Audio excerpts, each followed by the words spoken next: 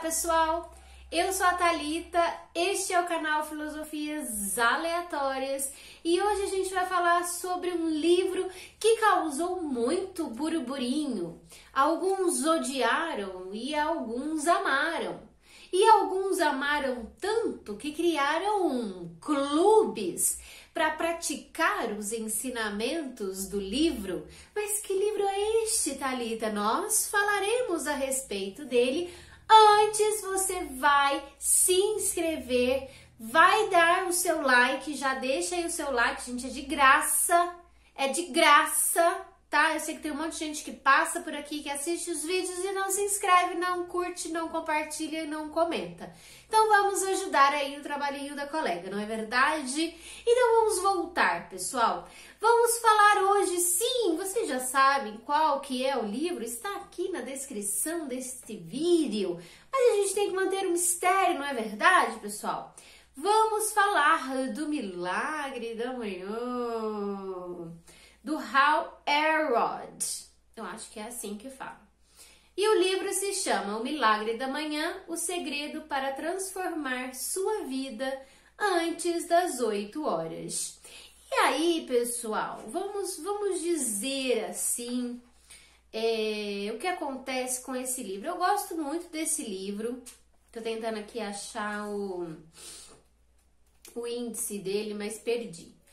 É, Algumas pessoas, assim, o que eu vi que algumas pessoas não gostaram do livro foi justamente por causa desse negocinho que ele coloca, que é um detalhe, detalhe, coisa pouca, que você vai transformar a sua vida antes das 8 horas da manhã. Então foi esse livro que inspirou milhares de pessoas a criar o clube da manhã, o clube do milagre da manhã, o clube das 5. E aí as pessoas começaram a acordar 5 horas da manhã. Teve uma época, inclusive, que as pessoas começaram a fazer lives às 5 horas da manhã. Tudo com, né, inspirados aqui no livro do Hall.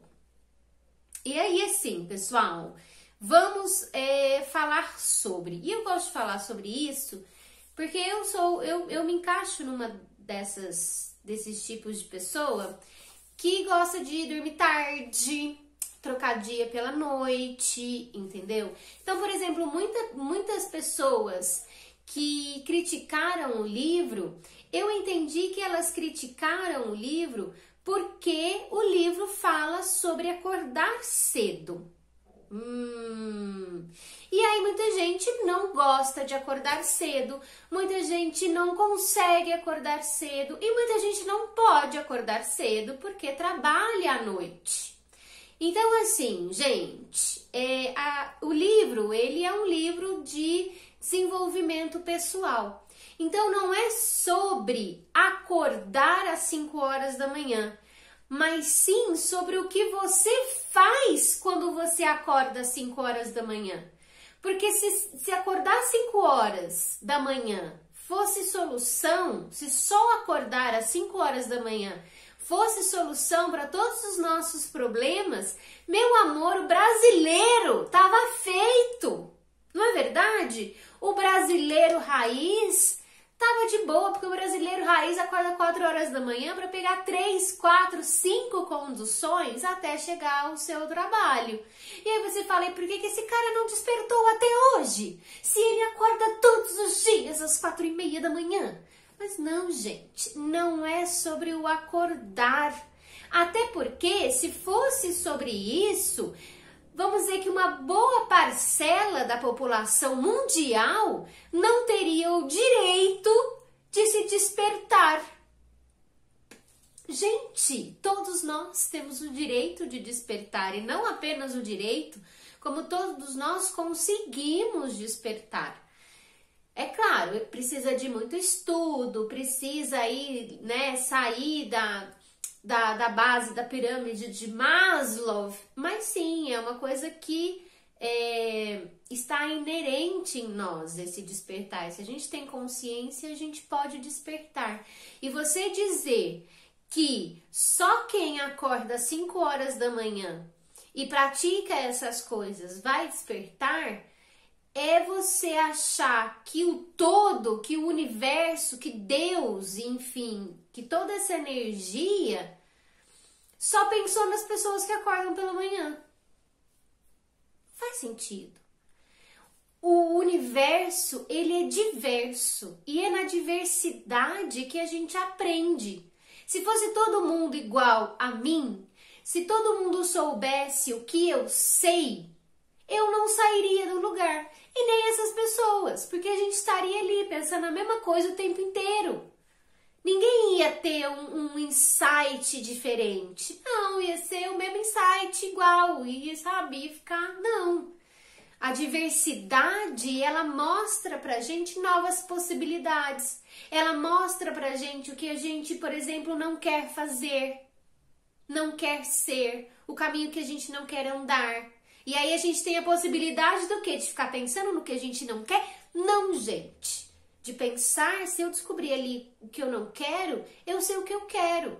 Se eu sei que eu não quero ficar passando a minha vida andando em ônibus lotado, eu sei que o que eu quero é poder andar num trânsito fluido, num carro com ar condicionado ou numa ciclovia específica para bicicletas. Sim, entendeu? Então, a, a, diversidade, ela faz a gente ampliar os nossos horizontes. Como que eu sei tudo isso que eu passo no canal? Porque outras pessoas estudaram muito mais do que eu, pessoas escreveram livros, entendeu? Então elas têm um conhecimento diferente do meu. E aí eu consigo absorver aquilo que faz sentido na minha vida certo? Porque assim também, gente, não é para pegar esse tipo de livro e fazer exatamente o que o cara fez e esperar exatamente os mesmos resultados. Isso não existe. Ai, eu vou ver lá o que, que o Hal, o Hal é, estudou, vou ler todos os livros que ele leu na ordem que ele leu. Não, não tem, gente, não tem, porque cada um tem uma experiência para viver, cada um tem um aprendizado. Você entendeu? E cada um tem um sonho, cada um tem um foco, cada um tem um objetivo. A gente pega aquilo que, que faz sentido pra gente. A gente pega os insights que o outro teve e que a gente não teve e que vai servir para nossa vida. Não serviu para nossa vida, beleza, vai ter outro ensinamento que vai servir. E assim a gente vai adquirindo o nosso conhecimento. Então, voltando aqui para o livro, gente. Todo mundo é capaz de despertar. Depende de quê? Depende de estudar, depende de praticar, depende de focar nisso. A gente tem que querer. É igual fazer uma faculdade. Eu quero fazer, eu quis fazer minha faculdade de teatro. O que, que eu tive que fazer? Eu passei seis anos na faculdade. Passei seis anos, eu tive que escrever artigo, eu tive que fazer parte de grupo de estudo, eu tive que. Eu fui para fora, eu fiz é, estágio, foram N coisas que eu tive que fazer, certo? Que eu tive que praticar. Seis anos praticando aquilo para ganhar um diploma lá falando que, ó, ela sabe isso daqui, pelo menos um pouquinho ela sabe, certo? E a prática do desenvolvimento pessoal é a mesma coisa. A gente tem, eu não ia, eu ia todo dia para a faculdade. Quando você faz uma faculdade, não é isso? Todo dia você vai para a faculdade. Segunda a sexta você vai para a faculdade. Às vezes você vai sábado para faculdade. Aí às vezes domingo você tem que quê? sentar a bunda para estudar. Aí você tem prova, você tem trabalho, você tá sempre tendo que ler né, sempre tendo que ir atrás de bibliografias novas. E é por isso que a gente sai da faculdade com um conhecimento legal sobre aquele assunto. Porque a gente teve que desprender 4, 5, 6, 10 anos da nossa vida para aprender um assunto. Certo? E o desenvolvimento pessoal é a mesma coisa. A gente tem que praticar todos os dias, a gente tem que ler, ir atrás de bibliografia, é, estudar, entender a teoria e praticar e sentir aquelas teorias na prática. Ah, essa prática não deu certo na minha vida, não deu certo com a minha personalidade. Então eu vou atrás de outras práticas, tantas práticas, gente. Por falta de prática e de tipo de prática, pode ser. Você entendeu? E então, voltando ao livro, a questão não é acordar às 5 horas da manhã ou fazer tudo antes das 8, tá? Isso é uma coisa, assim, é, cientifica, cientificamente falando, você ter uma rotina de acordar cedo, é, praticar o desenvolvimento pessoal, meditar, fazer um exercício físico e aí você começar o dia, é, o seu corpo ele tá, né? Vamos dizer assim, ele já entra com energia, né? Óbvio, você acordou cedo, você tomou um banho gelado, você correu, você meditou, você leu, né? Ser óbvio, a hora que você acabar de fazer tudo isso, você tá com uma energia muito alta, muito boa. E aí você consegue ser produtivo durante o dia. Por isso que muitas pessoas gostam de fazer isso pela manhã, porque aí elas têm o resto do dia para trabalhar com aquela energia produtiva. Mas o desenvolvimento pessoal, ele não precisa, ele não tem uma hora exata. Não é que se, puta, eu não acordei hoje às 5 horas da manhã, perdi o meu desenvolvimento pessoal, não vou nem meditar. Tô atrasada para meditar. Não, gente, não. Você vai lá e você faz. Ah, eu não consigo acordar às 5 horas da manhã, mas eu consigo fazer isso às 8 horas da noite, depois que eu acabo o meu trabalho, que eu acabo tudo que eu tinha que fazer, eu tomo um banho e aí eu vou fazer, vou fazer as minhas práticas. Eu mesmo já fiz isso por um tempo. Eu fazia tudo às 8, entre 8 e 9 horas da noite, porque era a hora que eu tinha acabado todos os afazeres do dia, já estava assim, vesga, não conseguia mais trabalhar, não conseguia mais estudar nem nada. Tomava um banhão top, né, para dar aquele descarrego, comia uma coisinha leve e ia, ia meditar, ia fazer minhas leituras, ia fazer as minhas práticas e etc. E tava tudo bem. Não é verdade? Então, pessoal, não é o horário que você acorda, é o tempo que você dedica diariamente para aquilo. Se você dedica um tempo diário para o seu desenvolvimento pessoal, para você meditar, para você pensar sobre a sua vida, para você ficar sem fazer nada, olhando a paisagem, só recebendo vibrações do amanhecer ou do anoitecer ou do entardecer, entendeu? Aí a prática vai de cada um. A prática, cada um resolve que prática que é mais legal. Puta, gostei muito dessa prática, minha energia ficou top, ficou lá em cima, vou fazer isso. Ah, eu gosto de meditar, eu gosto de fazer entoar mantras. Enfim, gente, ache a melhor prática para você, para você se desenvolver, leituras que você goste, entendeu? Um exercício físico que você goste de fazer e coloque isso na sua rotina. E aí, da mesma maneira que todo dia a gente trabalha, que todo dia a gente toma um banho, escova os dentes, todo dia a gente tem que comer, todo dia a gente vai fazer o quê? Todo dia a gente vai fazer uma meditação, todo dia a gente vai fazer uma prática, a gente vai escrever no nosso caderninho, a gente vai agradecer. A gente, você entendeu? Independente do horário que você acorda. Porque senão, pessoal, todas as pessoas que trabalham à noite não teriam direito de se desenvolver. Todos nós temos o direito de nos desenvolvermos. Né? Não, isso não, ninguém é proibido disso. Eu acho que não, né? Não deveria. É, lógico que a sociedade ela tenta, né? Mascarar isso pra gente não se desenvolver muito. Mas está aí, né, pessoal? Gente, esse é o meu cachorro, vem cá. Ele tá preso junto aqui comigo. É, então eu quis trazer esse livro porque eu gosto bastante desse livro.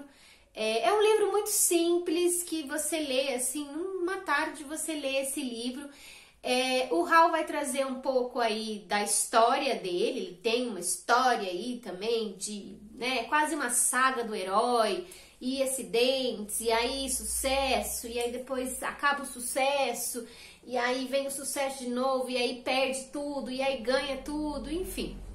E até que ele começou a praticar essas coisas, mas ele tinha uma vida de horário comercial. Ele tinha uma empresa, ele tinha que estar na empresa dele. Durante o horário comercial, ele chegava tarde em casa. Então ele escolheu amanhã justamente porque era o horário que ele tinha para fazer aquilo. Eu, por exemplo, hoje em dia estou fazendo isso de manhã. Porque eu já tenho que acordar de manhã para dar as minhas aulas. Então, eu já acordo antes, faço tudo que eu tenho que fazer e aí vou dando as minhas aulas. A hora que eu termino a última aula lá à noite, que eu já tô cansada, eu estou tranquila que eu já fiz todas as minhas práticas, eu já fiz os meus exercícios, eu já li. Então, é, a, a gente tem que ter esse momento assim, ah, não, relaxei, né? Já fiz tudo que eu tinha que fazer, agora posso relaxar, posso assistir vídeos idiotas na internet sem ter peso na consciência, não é verdade? Agora, se eu trabalhasse de madrugada, ah, não posso fazer, gente, porque eu chego em casa às 6 horas da manhã. Ah, não, não vai rolar nessa existência mais eu me desenvolver. Não, né, gente? Não, essa pessoa vai escolher um outro horário, um horário que ela está bem. Eu acho que o importante é a gente estar tá bem, porque também não adianta você acordar às 5 horas da manhã e toda hora que você for meditar, você dorme. não é verdade? Ai, acordei 5 horas da manhã, vamos lá, vou meditar. Vou ficar aqui até às 6 horas da manhã. A hora que acorda, você é 8 e meia, né? Tá lá assim, todo torto. É, não, não adianta, não adianta. Às vezes você tá muito mais antenado, muito mais conectado à noite. Eu, por exemplo, de madrugada, eu tenho uma conexão assim incrível, incrível mesmo. Mas no momento eu não posso ficar até 5 horas da manhã acordada, porque eu preciso dar as minhas aulas pela manhã, porque senão vai ser um zumbi, né? Eu vou dar aula de inglês, vou começar a falar árabe, sem saber árabe. Não pode, né, gente? Então, a gente adapta as, as nossas rotinas, aos nossos, os nossos horários, até porque os nossos horários mudam também, né? Às vezes a gente está trabalhando num lugar que tem um certo tipo de dinâmica, tem um horário X, depois a gente muda, tem um horário Y, e aí também, ah, mudei de horário, não posso mais trabalhar o meu desenvolvimento pessoal. Não, você apenas vai alterar né, a, a sua rotina, os seus horários, para conseguir encaixar isso. O importante é fazer. É igual tomar banho, né, gente? É aquela coisa.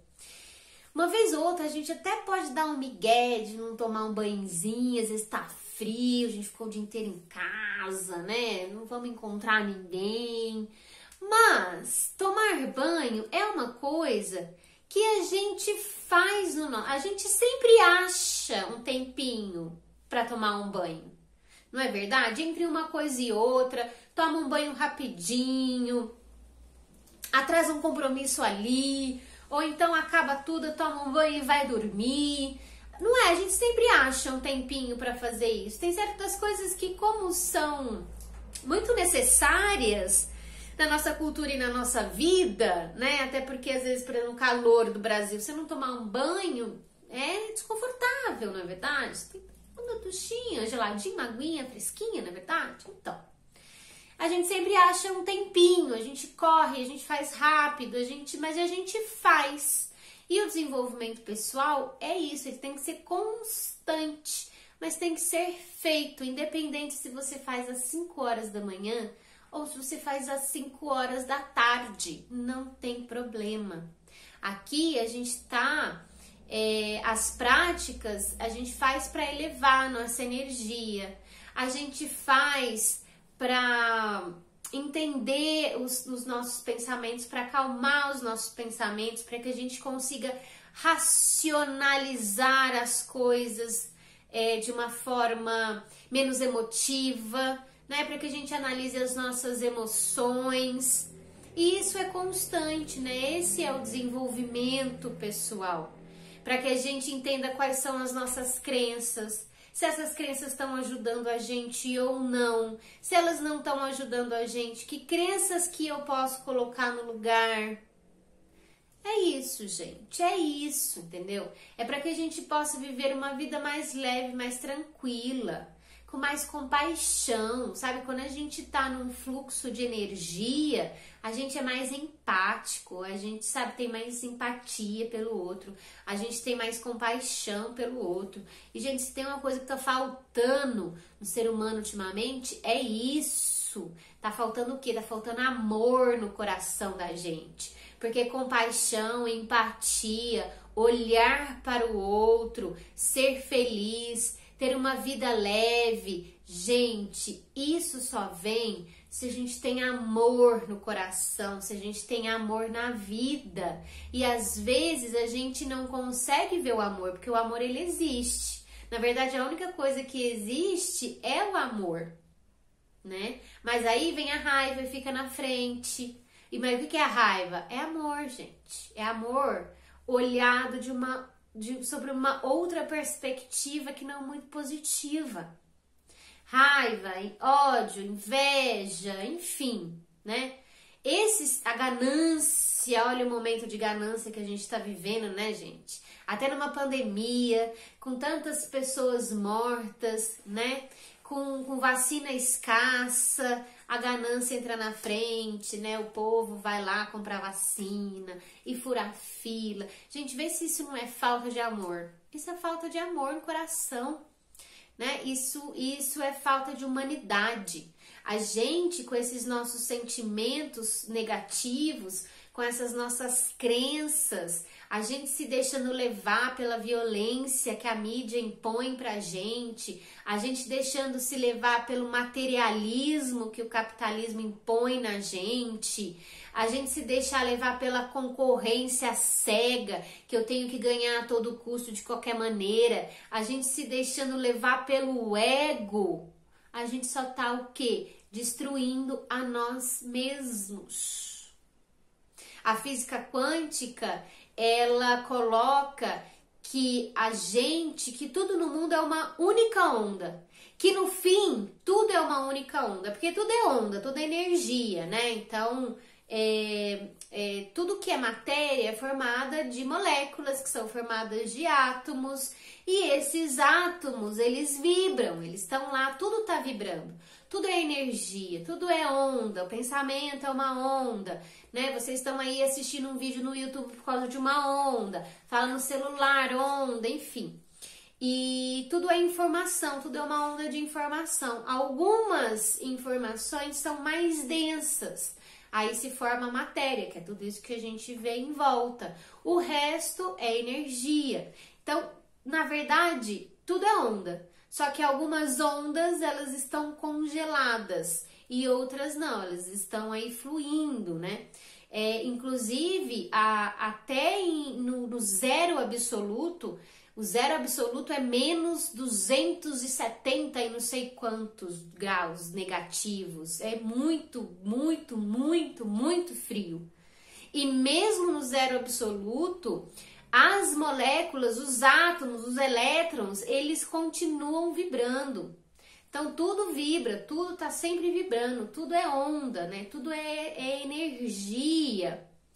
Então eu sou você e você sou eu e eu sou o meu cachorro que está sentado aqui e eu sou esse celular e eu sou essa mesa e eu sou esse livro que eu tô tocando. Porque no fim, tudo é uma única onda porque o universo ele fu, explodiu que? É uma onda só. E por uma onda só tudo foi se formando. Nada se perde nada se cria tudo se transforma. E as ondas foram se transformando. A gente foi criando raízes. E aí as coisas foram se formando mas se a gente for pensar numa árvore e suas raízes ela pode ter quilômetros de raízes a hora que você segue essa raiz, todas as raízes vão dar no tronco único da árvore.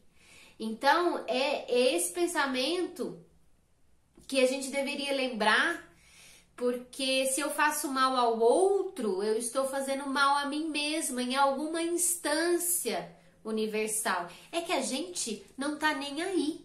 Entendeu? A gente não quer acreditar nisso. A gente fala, mano, a gente não tá ligando nem pro planeta aquecendo. Porque que, que a gente pensa? Ah, quando isso tiver muito ruim, eu já vou ter morrido, entendeu? Eu já não estarei mais aqui. E não estamos nem aí para quem vai estar, tá, entendeu? Mas a gente esquece que pode ser que a gente continue existindo depois da morte. Olha que loucura. E se a nossa consciência, né, se essa nossa energia que nos dá a vida continuar por aí, ou mesmo em vida, né, gente? A gente recebe em vida mesmo, a gente já recebe essas coisas que a gente emana, a gente já recebe, né, esse não tô nem aí. E não é à toa que chegamos na situação que chegamos, não é verdade? Ai, nossa, que momento terrível que estamos passando. Por que será que estamos passando isso? Gente, olha o que a gente está fazendo com o mundo. Há tanto tempo, as pessoas vêm se matando, as pessoas vêm se odiando, as pessoas vêm sendo competitivas ao extremo, uma com as outras. As pessoas com elas mesmas, as pessoas não estão se amando, não estão amando o próximo, né? Estamos doentes emocionalmente, mentalmente. Então é claro que uma hora toda essa energia emanada volta. E aí volta, por exemplo, com uma pandemia, como todas as guerras que não param, nunca para a guerra, sempre tem uma guerra. Gente, o que é uma guerra? Senão a falta de amor extrema, uma ganância extrema. Porque estamos desconectados estamos desconectados. A gente prefere acreditar na matéria, a gente prefere, a gente vê assim, bilionários morrendo e não levando nada com eles, às vezes ainda morrendo solitários, e a gente ainda acha que tá tudo bem. Não, é isso mesmo, vamos ter dinheiro até morrer e, e, e não tô nem aí, né? Não, gente. Isso é falta de conexão. E esse tipo de prática e todas as outras práticas que a gente traz aqui com a filosofia, por exemplo, é justamente para a gente se reconectar com a nossa humanidade. Se conectar com o amor infinito do universo. E eu me coloco, gente, eu estou aqui. Esse canal é, é, é exatamente um diário de bordo onde eu trago para vocês o que eu vivo, o que eu pratico e as coisas que vêm na minha cabeça durante esse processo, né?